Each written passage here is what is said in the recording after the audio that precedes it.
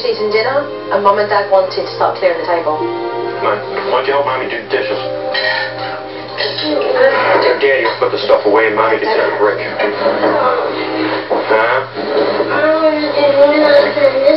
Kenny, stop. Man, I hate that. You telling everybody you want to do nothing. Huh? Oh, go, go upstairs. Why? She doesn't want to do anything. She doesn't want to do anything. Don't you think that's a problem if I'm telling her not to do it? And now if you're doing it, that's half the reason she's up. If you're giving in and I'm telling her she can't do something.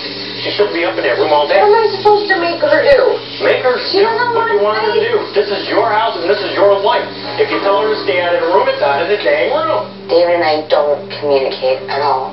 And I think that we both push a lot of um, responsibility for whatever it may be on the other person. How long have you two been at loggerheads with one another?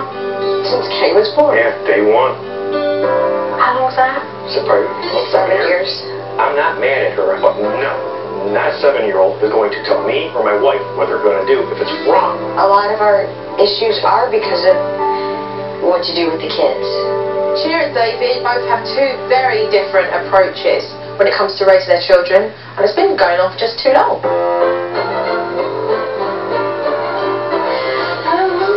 Too bad. Mommy spent a half hour reading to you. That's fair enough. Lay down. Julia, get up by the pillow. Lay down. Come on, Kenny, in your room. Tina? No, no, no, no, no, no. Not again. Not another night.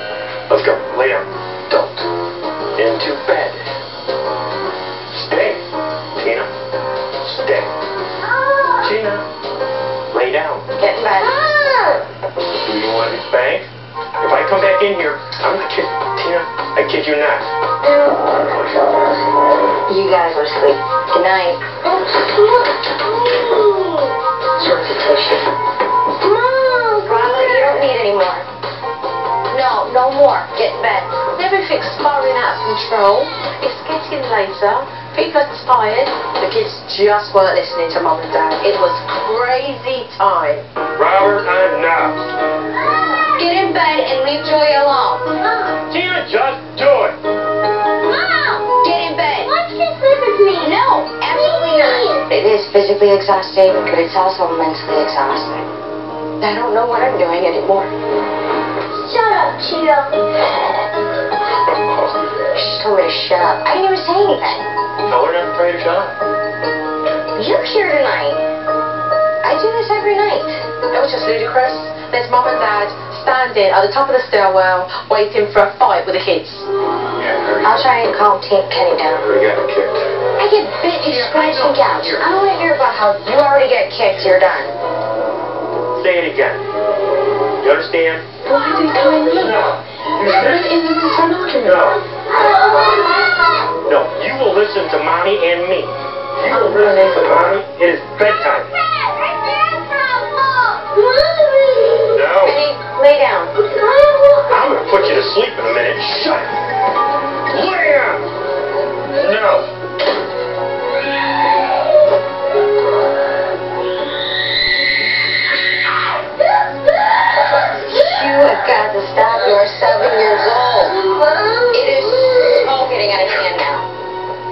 Lay down, Kenny. Two and a half hours later, it was 10 p.m. and there was still no resolve inside. I could see by the way Mum was behaving that she was just going to surrender to it all and go and lay on that bed, and I'd seen enough. Tomorrow morning we'll talk. It's okay. It's okay. Sleep tight. Thanks. Tomorrow morning I'm going to sit Mum and Dad down and we've got a lot to discuss. Lay down. You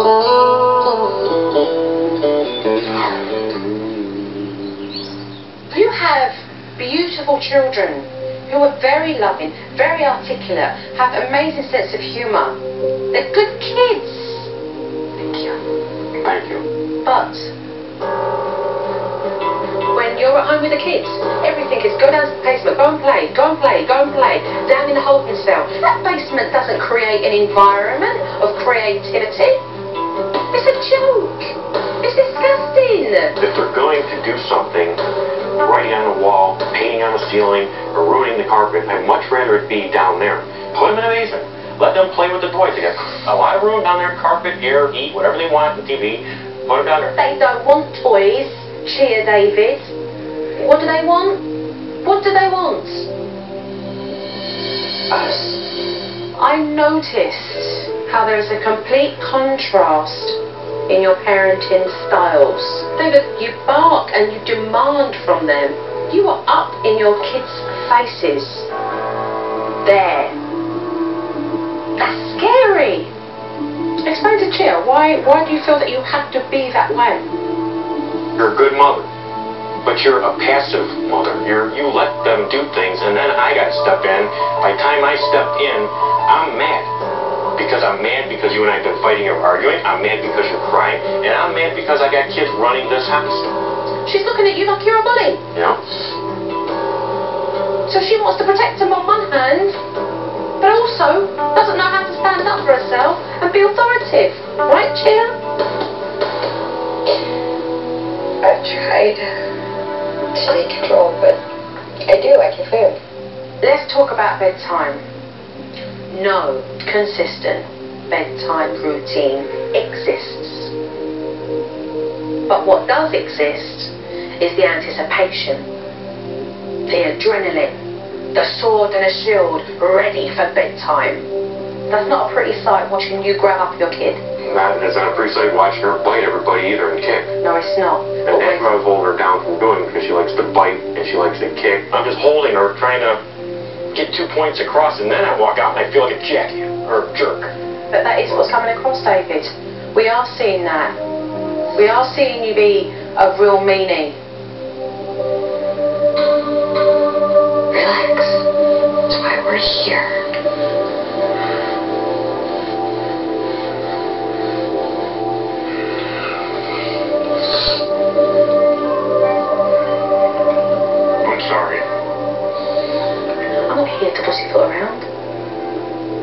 I'm to tell you how it is. I just was kind of hoping maybe a few things Jo would overlook, but she didn't. It was rough on me seeing my wife cry. It was rough on me. So it was a very intense meeting. So it does mean having a very open mind, changing some old behaviour patterns, and making choices that are completely different. I've got to start standing up for myself and start showing some control over the kids. I think it will be really hard. Are you guys up for doing that? Yes. Together? Mm-hmm. You sure about that? I'm positive. We do have a good family.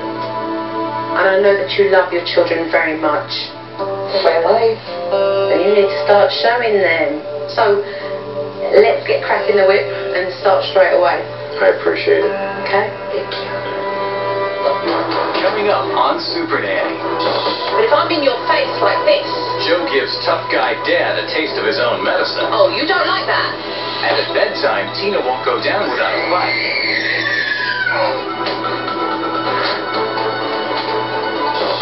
When Supernanny returns.